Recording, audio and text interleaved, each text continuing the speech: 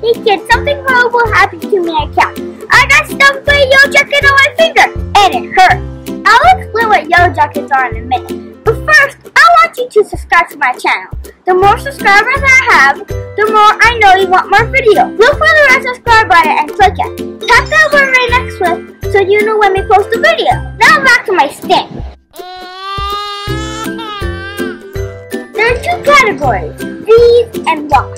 Honeybees and bumblebees are the most common bees that can sting you. Females have the stingers, but males do not. Honeybees die after stinging people because their stinger gets stuck in their skin. One or more aggressive than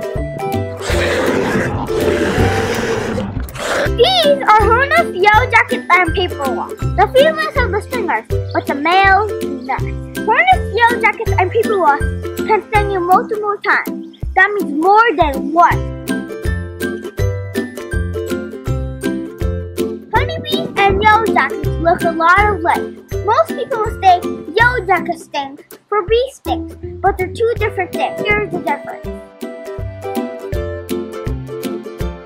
Honeybees sting once and then they die. Yellow jackets can sting you more than once and do not die after. Honeybees won't chase after you. Yellow jackets will chase after you. Honeybees are yellow and fuzzy. Yellow jackets are bright yellow and not fuzzy. Honeybees are chubby. Yellow jackets are not chubby and have a small waist. Honeybees sting when they feel threatened. Yellow jackets sting when they feel threatened, angry, or getting food. Honeybees like pollen and nectar. Yellow jackets like sugar, meat, and fruit. Honeybees most of the time are harmless. Yellow jackets can become easily aggressive. Those bees you thought you were seeing at picnics were most likely yellow jackets, and they're not nice. Here's what you do to protect yourself from getting stuck. Stay away from hives and nests. That's their territory and they will protect it. Don't swat them away, as this can be seen as you trying to harm them. Scaring bees or wasps can lead to them stinging is flying near you, slowly walk away and get indoors. Don't wear sweet smelling perfume, sunscreen, or lotion when going outside. You might be mistaken for food.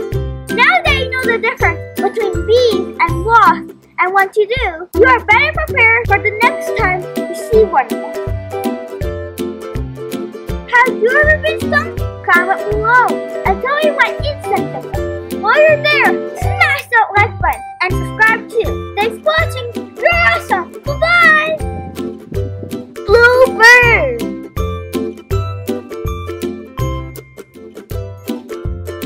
Honeybees.